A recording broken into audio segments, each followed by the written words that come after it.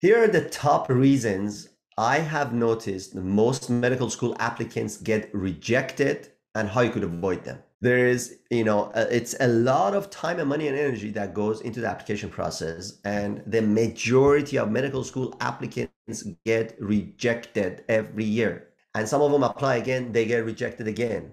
A lot of them just give up and never apply again.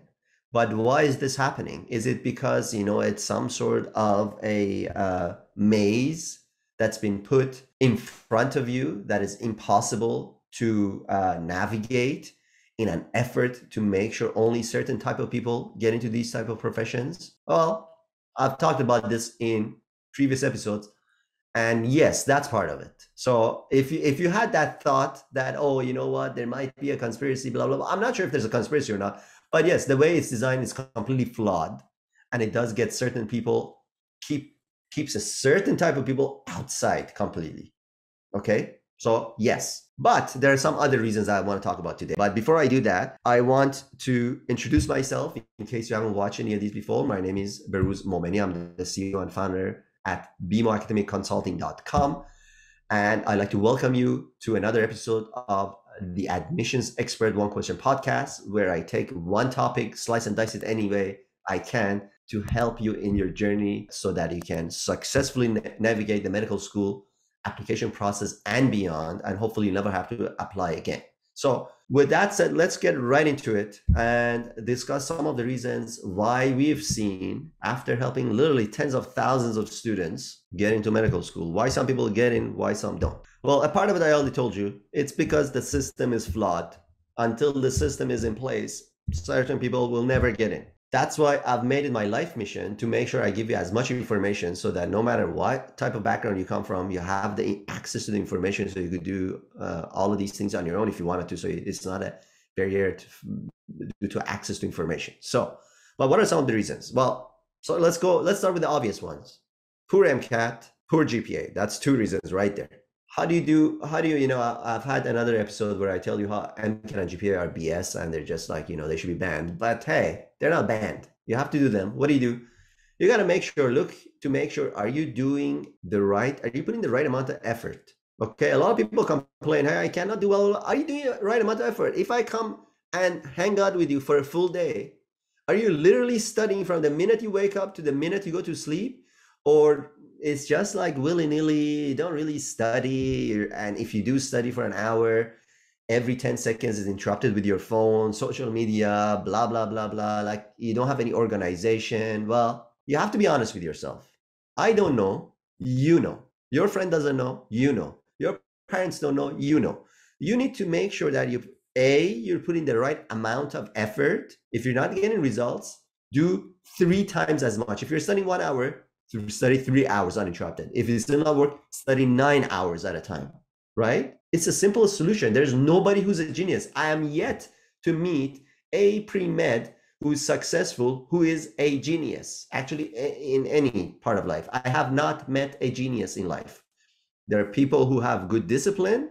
There are those who have bad discipline and they're just lazy. I mean, laziness is a habit. You understand that, right? You have to have the discipline to get going and if you want to do well you want to be a future doctor you have to have discipline. Like as much as i think mcat and gpa are uh, crap i will never allow you to be my doctor if you don't have discipline. Sorry. Or anybody i know for that matter. So gpa and mcat solution is actually the easiest to be honest with you. Just do more. Whatever you're doing do way more. Do three times four times ten times more.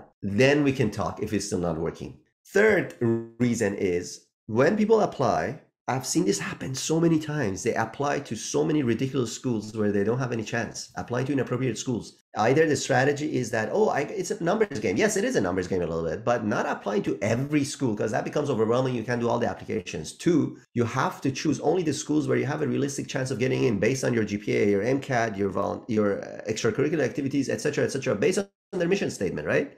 That's what you got to do. If none of them meet, well, then just don't apply. Wait a year, improve yourself, then apply. It's better than demotivating yourself with a rejection letter. Makes no sense. Inappropriate experiences. And when I say that is, you know, on the application is I notice people either put in everything they've ever done in their life, even whether if it was 10 seconds or 10 years, they put it all in there. and whether it was just something frivolous that has no impact whatsoever versus if they went to literally to africa build a thousand homes for 10 years they came back they think they should both be equally important. No. It's quality over quantity. People keep saying that but uh, it's actually harder to implement because you got to figure out all the activities you've ever done trim it by 90 95% only 5% are valuable to put in your application. The rest don't matter. How do you choose? The ones where you have shown enough amount of time and energy so commitment and you've actually progressed. So you've gone from like you know lab assistant to eventually having your own publication in the lab in like a span of four years. Those are more meaningful. And if you're in the planning stage plan for those type of activities. Don't try to hop from this or that and hop hop hop hop hop. That's nobody likes that.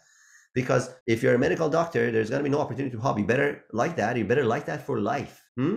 that makes sense. Uh, if you think about from an admissions officer mm-hmm. reviewing your application that's the reason why you want to stick to activities for the long term and show that you're progressing. The other reason is so that was what one, two, three, four I've given you. This is reason five bad application material, poor grammar, poor spelling, no sentence structure for personal statement or like you know uh, resumes or list of activities not proofread so it's like sloppy and just bad the bad organization so obviously that's very easily fixable how you fix that is usually you start applications early start early early early.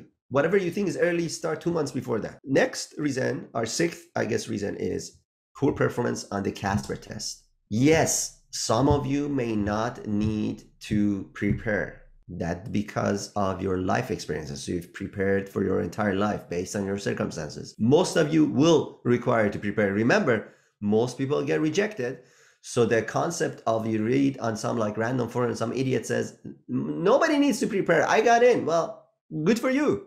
You're a minority. Minorities get in. Majority fail. One reason they fail is the Casper test. So now, you know, and you could be like doing poorly at one of these things or any of them. And normally it's like problem at a little bit of problem at each of these steps that I'm telling you. Sixth is like, you know, person doesn't prepare. And it's a sign of arrogance, to be honest with you. And we're like, oh, I don't need to prepare. Uh, why? Who do you think you are? Right? That should be the mentality. Just be like, be humble. It's like, I don't know what I'm doing. You know, I've done, I'll give you an example. You know, uh, we have uh, our team, uh, some of our admission experts have prepared students, uh, you know, thousands of time. Still, they have the humility to prepare before every single session. When I started this podcast, yes, these are unscripted, but I have the humility to know that I cannot just come and BS my way around. I still prepare, even though I've been doing this for like you know ten years as of you know recording this this episode. I I still have to prepare. So why would you think it's a test you've never done? You're not going to prepare. You you would be even more arrogant if you don't prepare a second time. Just think about the concept. You need to prepare. I'm not telling you, you got to pay BeMo, for example. I told you I have nothing to sell you in these episodes. We have a lot of tips and strategies, but prepare and prepare appropriately until you're confident that it could pass the test. Same thing with interviews. That's, I guess, seventh reason why people get rejected. They don't prepare for their interviews. So imagine you've done everything well.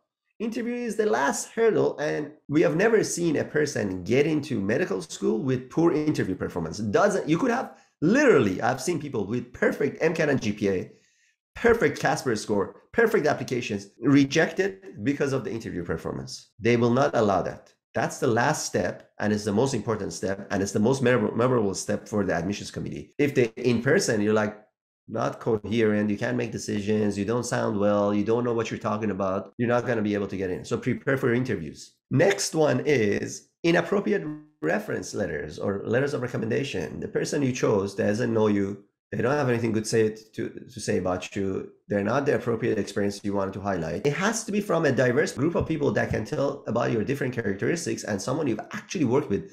So if you just attended a, lecture of 2,000 people, and even if you got 99 and you ask the professor to write your reference letter, what can they possibly write? They don't know you. This is all they could write. Hi, I have met X in my class, which was Bio 101. This person got 99%. Sincerely, Dr. XYZ. Well, that's not a good reference letter. That's awful. Someone who knows you deeply. Be careful about who you choose. And if you pay attention to all of these things that I mentioned, and it's a combination, I can guarantee you will have two, three, four times chance of other people because most people who apply to medical school, they're just not serious. they're just lazy. They don't want to do the hard work. So that's good for you if if you could be able to remain consistent and show that you could do all the hard work. And they also, most people also lack the understanding of how much time and money and energy it is required to actually do well at each of these hurdles that I mentioned. I hope this whole thing gave you a little bit of understanding of what you're required to do and what are the common pitfalls so you can avoid this right at the first step. Or if you've been rejected in the past, I hope it gave you some ideas to look back and make corrections. There is no shame in course correction. There's only shame in not trying. That's all I had for today. Thanks so much for watching. If you like this and you want to motivate a friend, make sure you share it with a friend who may enjoy this as well. Subscribe and comment. And I hope to see you at the next episode. Talk to you soon. Bye.